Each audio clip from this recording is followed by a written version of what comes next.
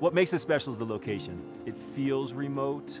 The mountains are surrounding us. It's an amazing spot. The Seven Utes Yurt is located on State Forest State Park up in northern Colorado. It's 40 foot diameter, which gives it about 1,200 square feet. We're sitting on a deck that's 64 feet by 64 feet, just tons of room. Colorado Mountain School is really excited to be able to operate year round out of this yurt, from backcountry skiing, snowshoeing, cross-country skiing in the wintertime, to hiking, fishing, backpacking, and camping in the summertime that's I think what makes this area the most unique and the most special is, is all season long can keep you busy doing anything you would come to Colorado to do.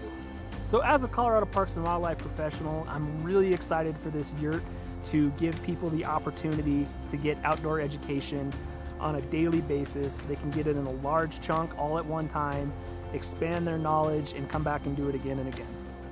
We are so excited to share this yurt with the world.